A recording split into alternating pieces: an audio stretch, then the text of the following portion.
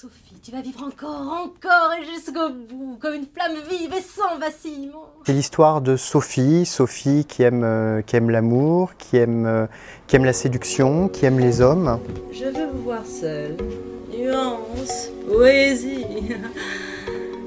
voilà tout ce qu'elle réclame et qui n'est point inné chez vous selon toute apparence. Évidemment, je pourrais. Ah oui. Et elle essaie de séduire un jeune homme. Elle se rend compte que c'est pas pour elle, qu'il vaut mieux qu'elle euh, se tourne vers des gens de son âge, donc elle se retourne vers le docteur. Je me présente, Gustave Somdol, pour vous servir. Enchanté, docteur Bon, alors, il y a urgence, madame. Comme l'on dit, les petits boutons font souvent bon ménage avec les rides. Ce qu'elle veut aussi, c'est présenter à, à sa jeune euh, servante le jeune homme. Ce jeune homme est magnifique, beau comme un dieu Voyons, Rosalie, tu lèves les yeux, tu verras que tu plais. Et puis quoi, docteur? Ça reste une comédie qui est libertine, un petit peu coquine. Je vous aime. Oh Quand je parle, contentez-vous d'opiner du bonnet Je ne veux pas. Oh, mon Dieu